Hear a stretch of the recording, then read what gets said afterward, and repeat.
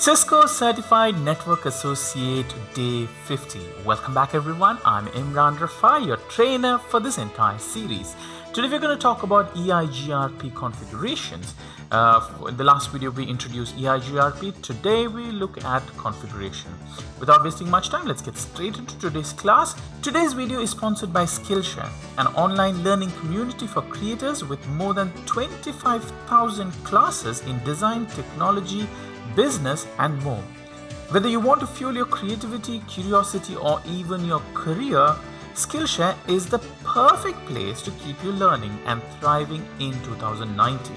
If you want to become a popular YouTube star, you need to up your video editing game. This course on Skillshare is perfectly catering to beginners in video editing taking you from importing your raw footage to editing and color correcting it and finally exporting it to beautiful YouTube ready formats. Try it today to start your YouTube career. Join more than 7 million creators learning with Skillshare. The first 500 subscribers of this channel who would click on the link in the description will get 2 months free trial. Don't waste that chance. Click on that today. And for people who want my social media contact, that's given on the screen.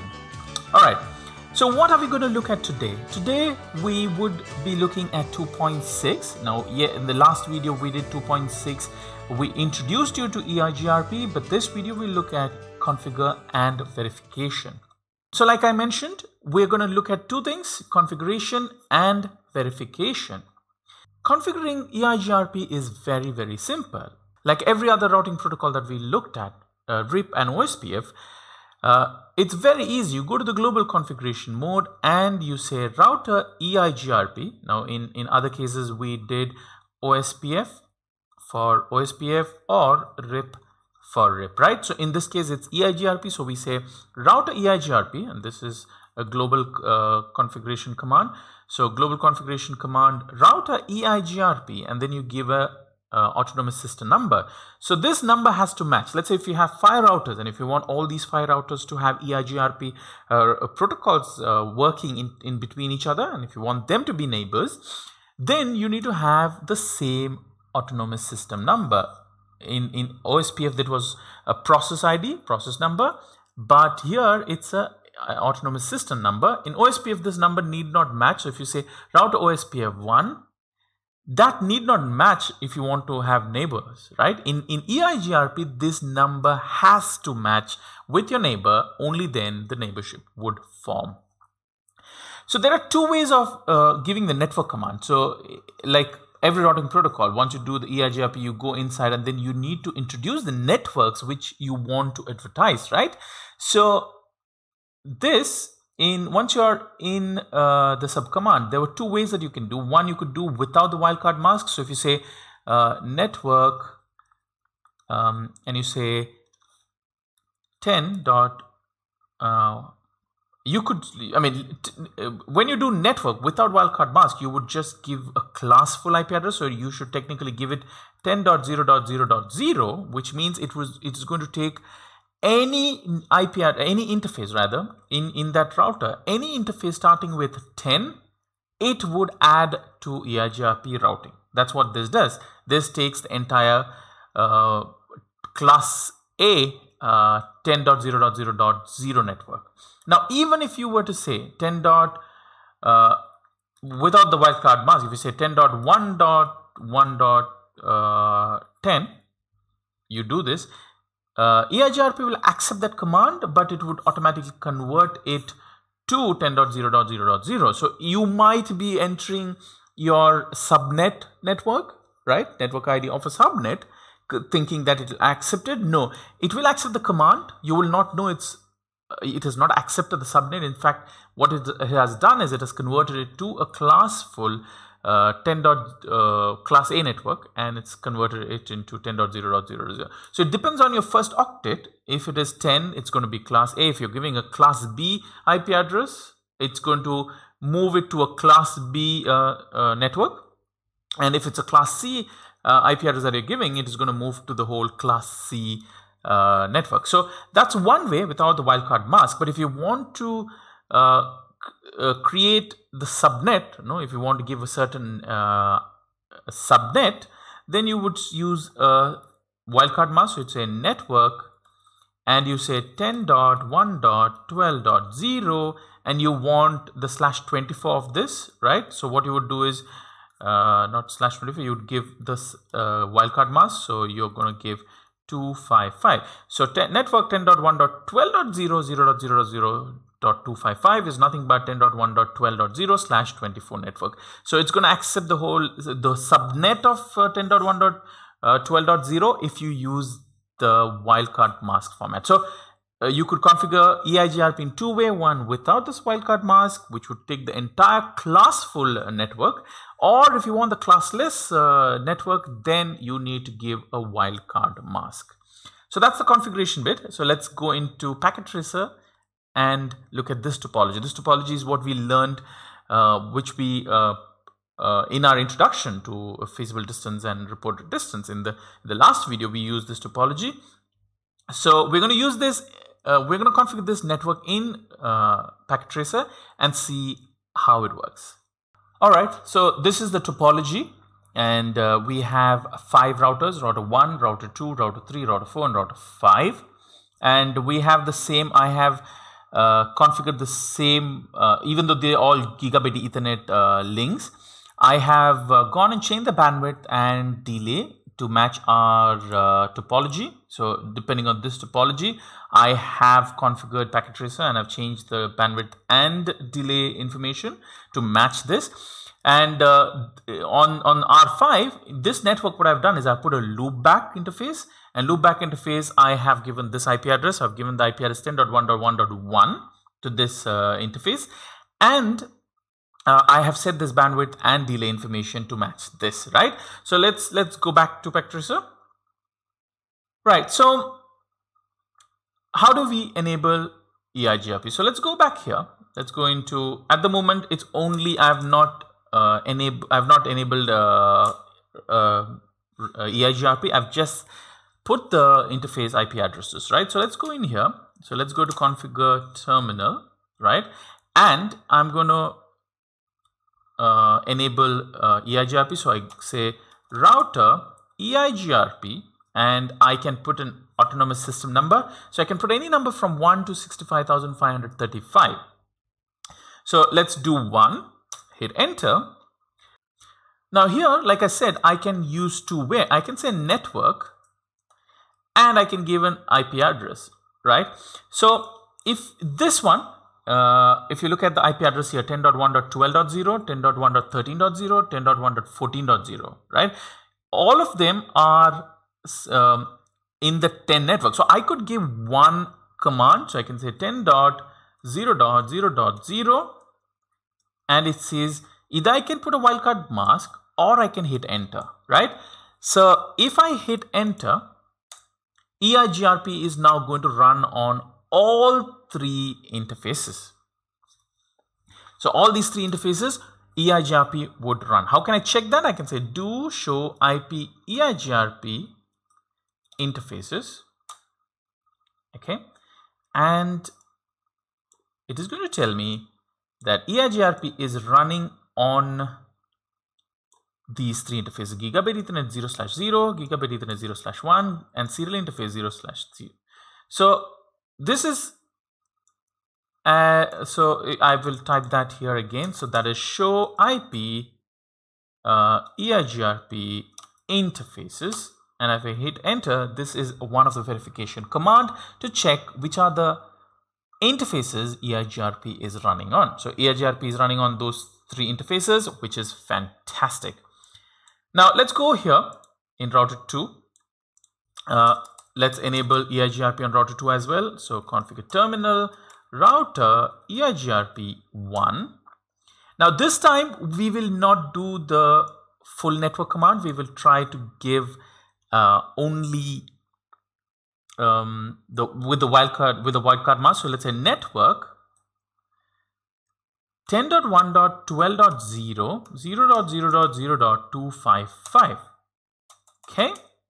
So now let's do the same thing. Do show IP EIGRP interface and we see EIGRP is running only on gigabit ethernet 0 slash 0 because that only that interface matched this command right it checked this command it said wildcard mask of 0 0 slash 0, 0 dot 0 dot 0 that means the first three octet needs to match. So it looks at all the interfaces where the first three octets as are 10.1.12 if any interface has 10.1.12 it puts that into EIGRP that's what happened here. Now let's do the other thing. 10.1.25.0 uh, okay 10.1.25.0 and hit enter. If we can do the verification again and we see EIGRP uh, gigabit ethernet 0 slash 1 is also now part of EIGRP you see gigabit ethernet 0 slash 0 has already a one uh, peer. So one of the pair that means one neighbor. It has uh, found a neighbor. And uh, that neighbor is r1 which we already configured we'll look at some verification command later in this video, but for now we will go on configuring EIGRP. So let's go here. We could do uh, any of those uh, with wildcard mask or without wildcard mask. To make it easy, I'm going to make it without wildcard mask. So router EIGRP 1 network 10.0.0.0 and that's it to go back here. I'm going to do the same thing. Enter configure terminal configure terminal router eigrp1 network 10.0.0.0 brilliant. See how, how easy eigrp is. Compared to uh, ospf now ospf there are so many things that you need to consider. You need to look at abrs you need to consider if you have multiple areas where you should which is the ideal location, which should be the ABR uh, router, and all that information you need to worry about. EIGRP is straightforward. You don't really have to think about it. So I can come in here, configure terminal, uh, router EIGRP1, okay, EIGRP1, network 10.0.0.0, and EIGRP is now running on all the devices. Um, let's look at uh, some of the information. So I, I, go here. I'll say show IP interface, uh, show IP uh, route. Okay. When I say show IP route, uh, let's look at this interface. This IP, this uh, interface or this network rather 10.1.1.0 network that's the network that we were calculating in the last video so let's look at that so it says the network is 10.1.1.0 slash 24 and uh, the admin distance is 90. EIGRP has an admin uh, distance of 90. Uh, D is EIGRP. So whenever you see D, that means it's learned on EIGRP. And this is the metric. So it says to go to this network 10.1.1.0, the network is uh, the uh, metric is 26112. So if you go back here, it, it had to be 26112, but it is 28416. So I have to go back and see what happened.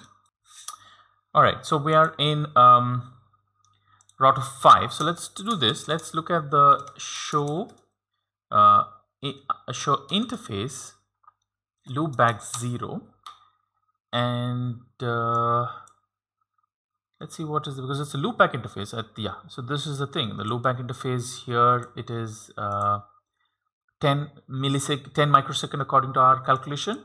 But if you look at here our delay is 5000 millis uh, microsecond. Now look at this what I, this is what I was talking about microsecond. So the u second is nothing but microsecond.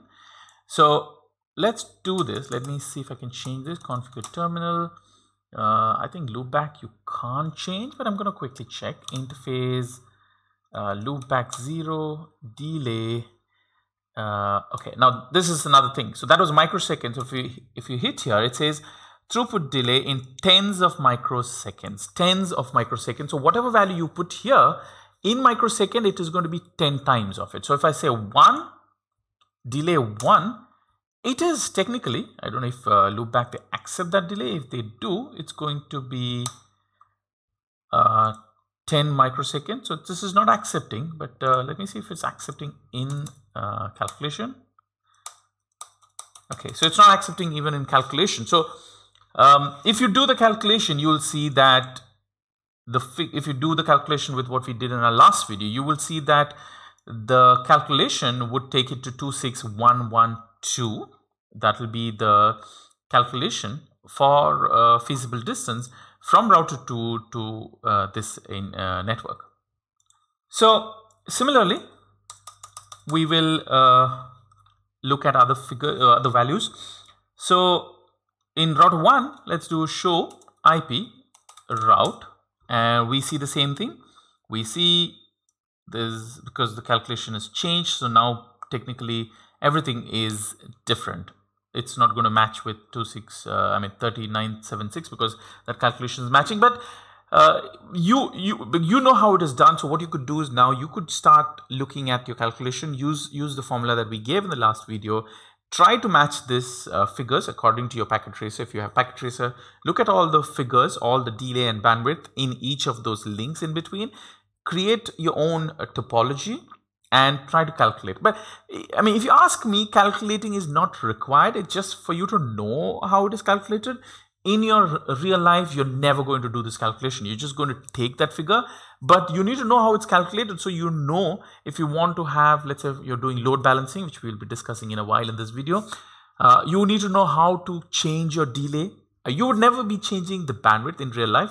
Bandwidth is something that you will not touch. If you want to fine tune EIGRP, most probably delay is the value that you would be uh, changing or tuning a little bit to get a, a, certain value that you want, right? So you could change bandwidth or delay and you could change uh, the calculation and, and, the metric. So do that, that's going to be uh, your homework. And like always, uh, the topology that we're going to use in Packet today we'll be using two topologies both of them would be uh, on our website uh, before you um, by the time you watch this. So that's something that you need to keep in mind. So let's go back to our uh, uh presentation.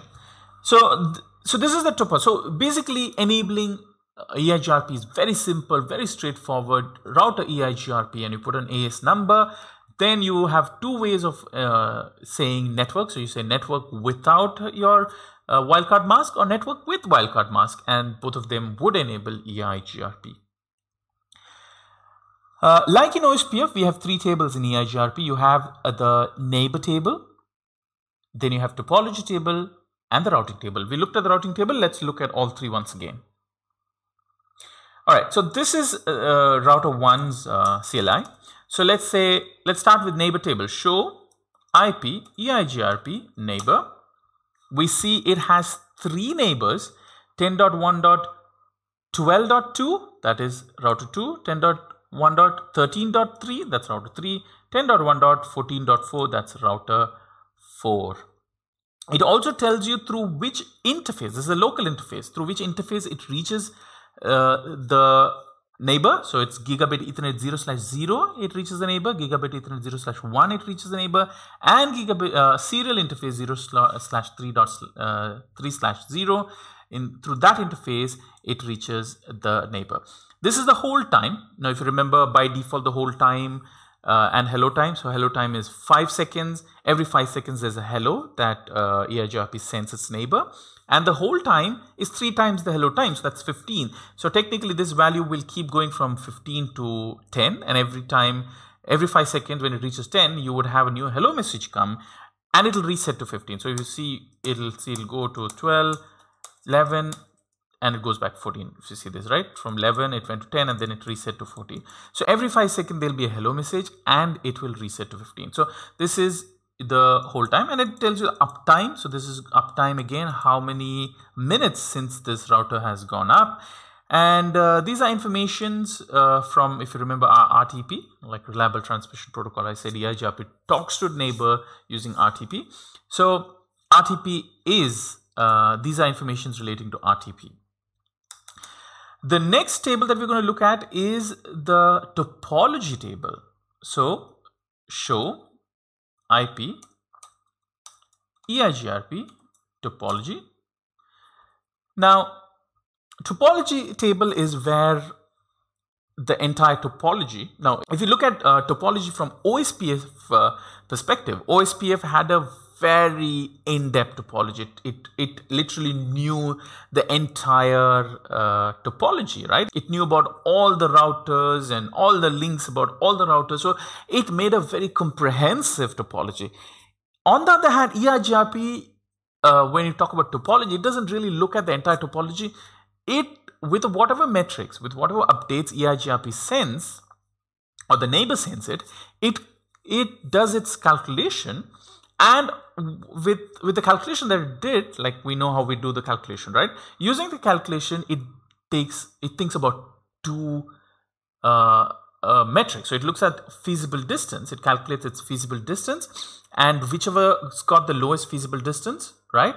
That becomes the route that becomes the preferred route okay? So in this case the 26368 is the lowest FD and it takes that information 26368 and it puts it in the routing table. So 26368 is the routing table. So if you look at the uh, routing table, which we'll look in a while, you will see that this is the preferred route, gigabit ethernet 0 slash 0. But we know there is a feasible successor. So this becomes the successor. So that's what the successor will go into the routing table. Then depending on a condition, the condition is if the reported distance of the other one of i mean one becomes the lowest uh, uh, the route with the lowest FD becomes a successor. Whatever remaining routes that you have it looks at the reported distance of all those routes. And if the reported distance is less than the uh, feasible distance which is in this case it's true 3072 has a feasible distance less than uh, rather reported distance less than the feasible distance of 26,368 and hence that becomes the feasible successor.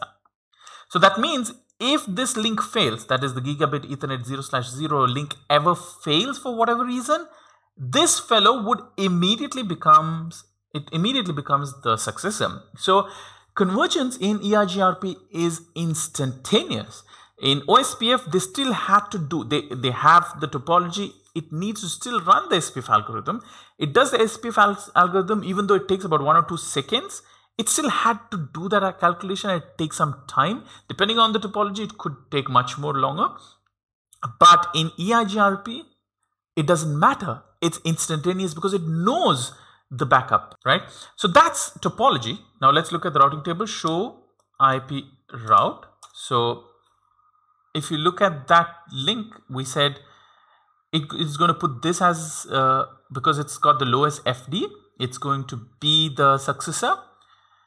And the successor goes into the routing tables. That is the uh, uh, link that has gone to the routing table. So routing table has one link with a metric of 2638 2638 is the FD and that's the lowest uh, FD and that's the successor.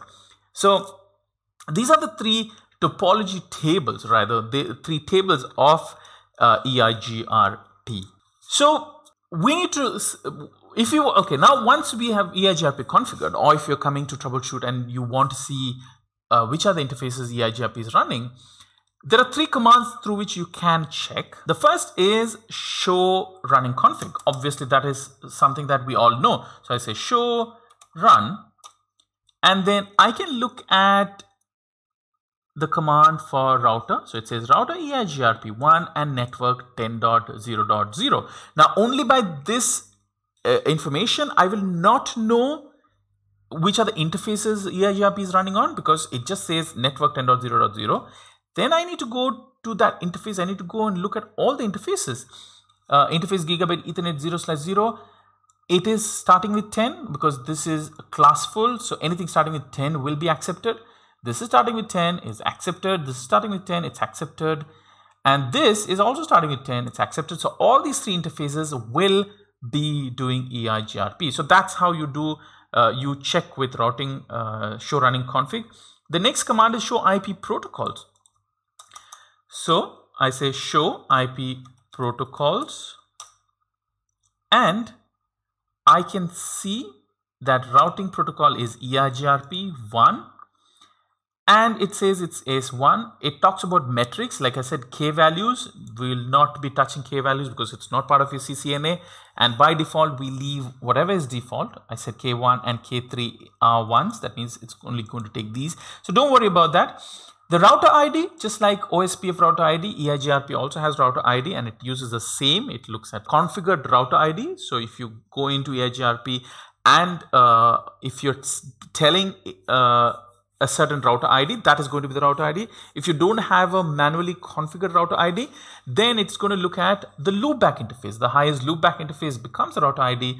If not, highest IP version 4 router uh, interfaces uh, with which has the highest IP address, that IP address becomes the route ID. So the route ID is uh, available here. Uh, automatic summarization is disabled. Now this is also uh, uh, important. Now uh, summarization is, um, I mean, in today's world, with because we don't we do subnet because of subnet because of classless routing we don't look at uh, summarization and it's best to leave summarization off but uh, if you if you enable summarization if you say uh, auto summarization is enabled what it is going to do is it's going to uh, summarize every time uh, let, for instance let's say let's say you have um, a router here okay and you have a router here and let's say this has three networks. You have 10.1 dot 2.0, 10.1 dot 10.0, 10.1.25.0, right? You have all these uh, networks here. If, and let's say they are doing EIGRP, if you enable auto summarization, when this network sends an update, it sends uh, EIGRP update, it says it has a route to 10.10.0.0 slash 8, right? It tells that anything for 10.0.0 slash 8, 10.0.0.0 slash 8, send me updates. So any traffic coming to 10.0.0.0 slash 8, traffic would come to this router. So let's say this is router 1 and this is router 2 it would say that anything, any traffic that you want to go to any 10 dot network, send it to me. Now, in this case, that's fine. But what happens if there is another network here and you have uh, 10.1.5.0 here, 10.1.75.0 here? Now what happens?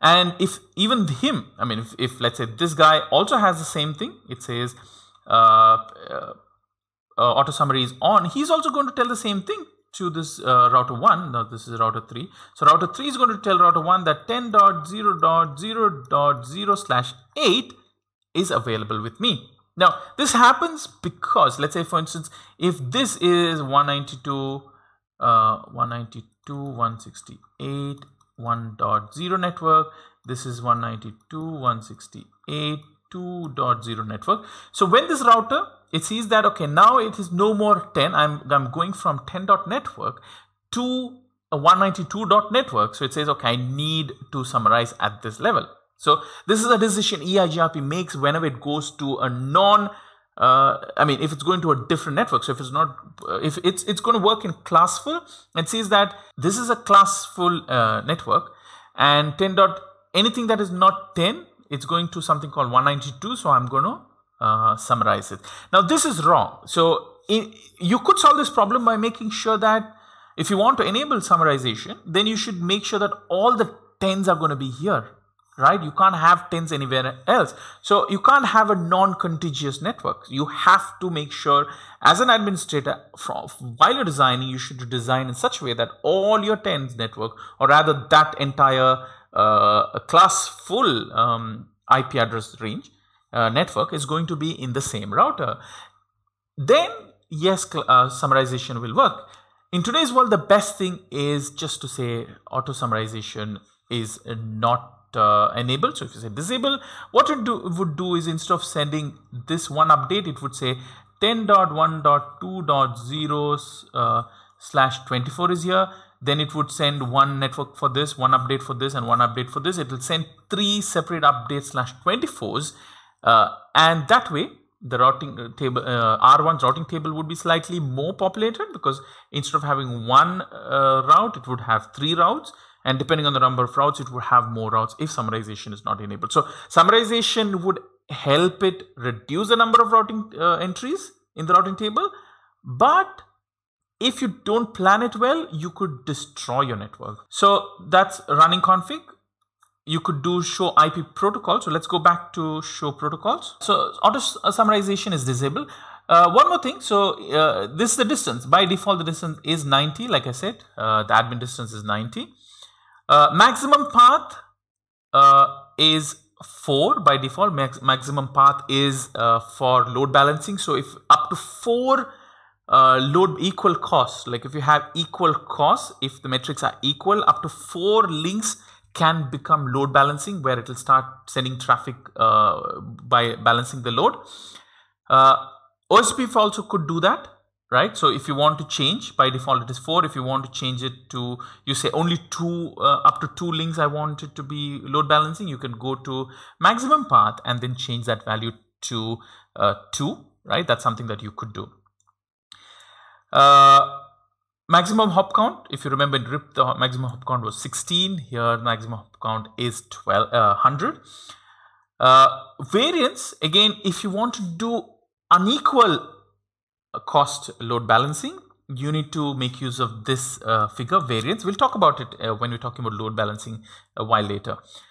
Um, routing for network is 10.0.0. So now this is another way uh, for you to understand uh, how this is configured. So when it says routing for networks 10.0.0.0, it is nothing but we have used the non-wildcard version. So if it's a wildcard version, it's going to show those uh, individually here. We'll look at in router 2 because we did router 2 with wildcard.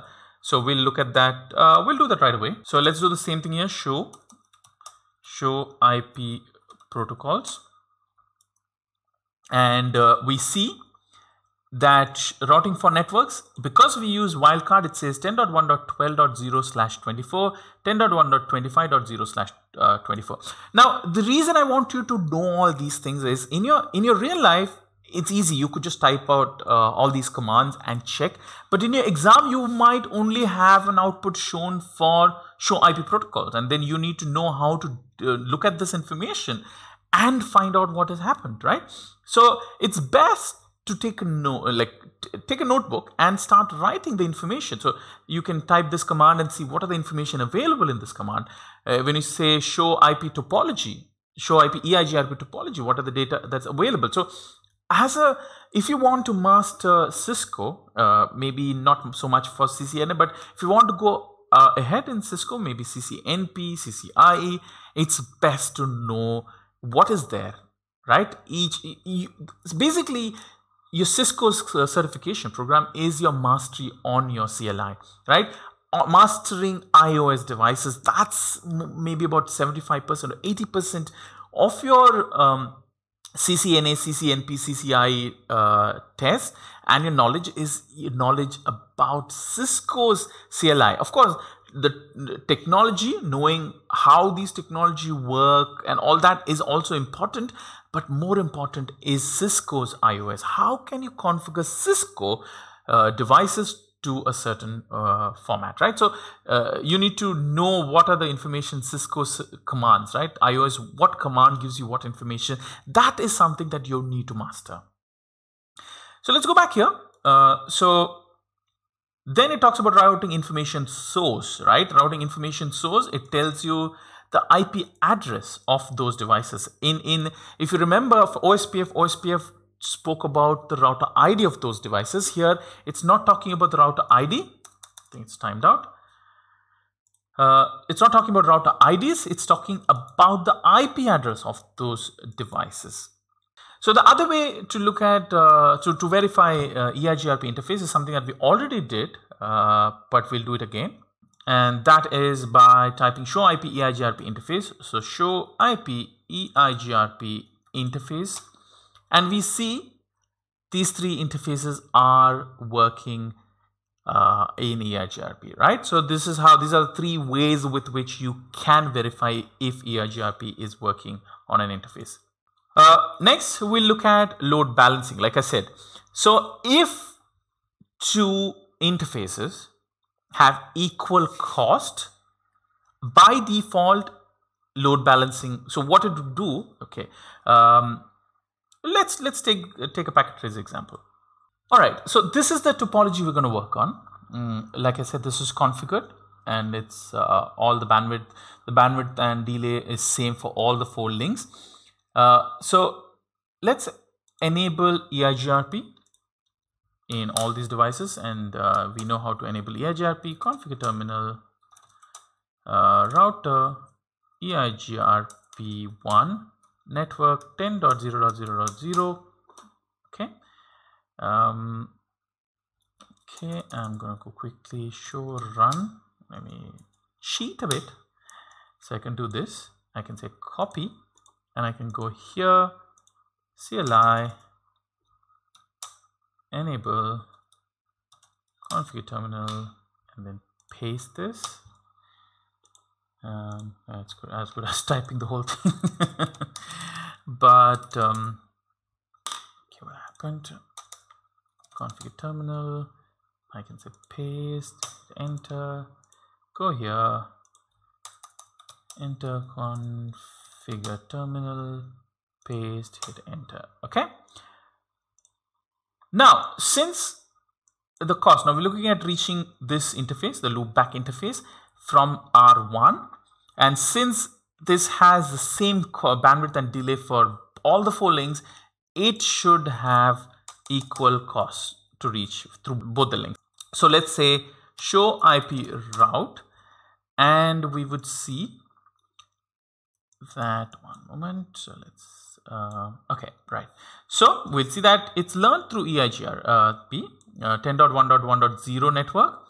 There are two links. So you can go through gigabit ethernet 0 slash 0 and gigabit ethernet 0 slash 1 both of them have the same metric. So this is equal cost. We can look at the topology as well. Show ip eigrp topology.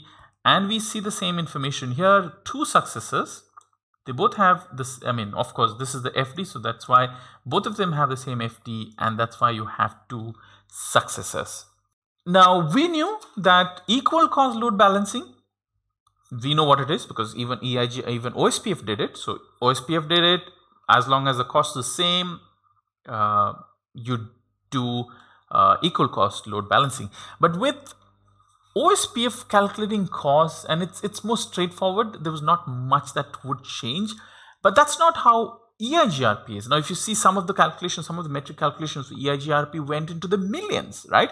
So you would have uh, EIGRP uh, one network with uh, 2,225,200 and there would be another uh, cost which was 201, right? Maybe one, you know, if you're talking about in millions, the difference between the two would have been just like one, right? Both of them are really bad connection.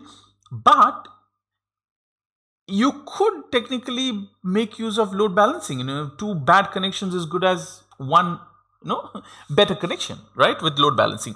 So uh, EIGRP gives you a way through which you can edit right? You could uh, fine tune EIGRP to consider two unequal cost lines or unequal cost links to still be uh, considered for load balancing. Now, how do you do that? We use something called as variance, right? So, uh, let's take smaller values. So, I'm going to take uh, smaller uh, FDs and RDs. And let's say there is one uh, router and these are the four routes. Considering FD, router 2 is the successor. Yeah, we know why it is because 90 is the FD and that 90 is the least uh, among the three, right? So 90 is the FD. Now consider RD of the other two links. So is RD 80 less than 90? Yes. So this is a potential candidate for feasible successor. Okay. And 180 is not less than 90. So this will never be a feasible successor. So now we have successor and feasible successor. Now load balancing, unequal, unequal cost load balancing is you have a feasible successor. Now at what condition, right? At certain, if you tune it certain way, you can take use of the feasible successor into your uh, uh, routing table and do unequal cost load balancing. So we use a variance called, uh, we, we use a, uh, a, parameter called variance. So you go into EIGRP and you say variance 2. So by default variance is 1. But when you say variance 2, what it does is it looks at the uh, successor's FD multiplies by the variance. So in this case it is 90. So if you do variance 2, right, at the rate of variance 2, this becomes 180.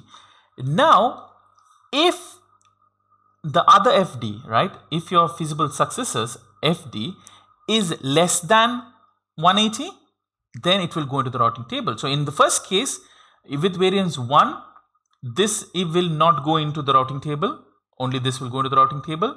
This will never go into the routing table in any case because it is not even a feasible successor.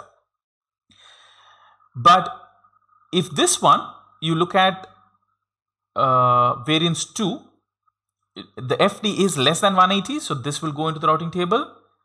Uh, FD, this will obviously go into the routing table. Now, when you go to variance 3, at variance 3, uh, this is 270 right anything less than 270 will go into the routing table so 120 is less than uh, 270 this will go but don't get confused. See again that's the reason i put x mark in the beginning. Even though 250 is less than 270 we would if you don't think properly you would think it's 250 is less than 270 it should go into routing table with variance 3 no it will not go because this condition doesn't match right? The reported distance is not less than uh, 90 so this will not be a feasible successor. So because it's not a feasible successor even with variance 3 it is not going to get into the routing table right? So this is how you enable non uh, i mean non-equal cost links right? Any unequal cost links. We would change the variance values and make sure that they go into the routing table. So that's how you do variable cost or rather unequal cost load balancing with the EIGRP. This is something that's not there in OSPF, it's supported by EIGRP. So thank you so much for watching.